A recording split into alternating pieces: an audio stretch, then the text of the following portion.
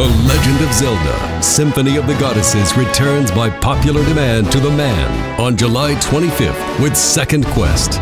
Breathtaking new video and music, plus your original favorites.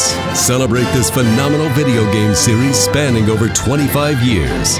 Don't miss The Legend of Zelda in concert with giant screens and the incredible Philadelphia Orchestra on July 25th at The Mann. For tickets and more information, visit manncenter.org.